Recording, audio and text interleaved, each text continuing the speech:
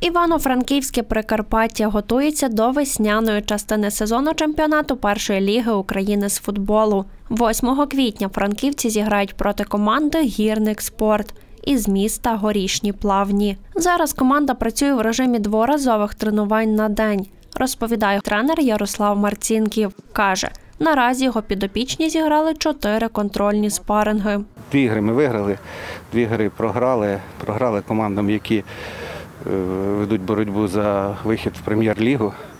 Тому це робочі моменти, які, які дали нам інформацію про те, де наші слабкі місця і де нам треба над чим працювати і що виправити. Ну, говорити ще е, рано, ще місяць, рівно місяць до початку першої календарної гри, тому ну, будемо говорити так, десь на 70% готові.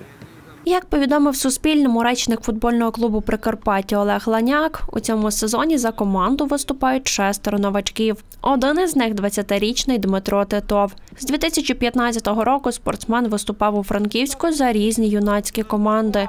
У 2021 році дебютував у дорослому футболі. А згодом захищав кольори молодіжної команди Прикарпаття. Дмитро Титов гратиме на позиції флангового півзахисника і захисника. Команда для мене вже знайома, я в ній вже багато років. Е, Був на зборах того року, ще поза того року. Всіх хлопців знаю, так ніби хороша команда. У весняній частині сезону Прикарпаття виступатиме у групі вибування. Це когорта команд, які боротимуться за збереження у першій лізі України. Гравець футбольного клубу Михайло Песко каже, Прикарпаття буде старатися перемагати у кожному матчі. Трошки тяжко було, не треба потерпіти. Зараз більш все з м'ячем працюємо і все йде по плану. Готуємося до першої контрольної гри. Нам ще пряме завдання не оголосили, але перемагати в кожній грі і бути чим вище.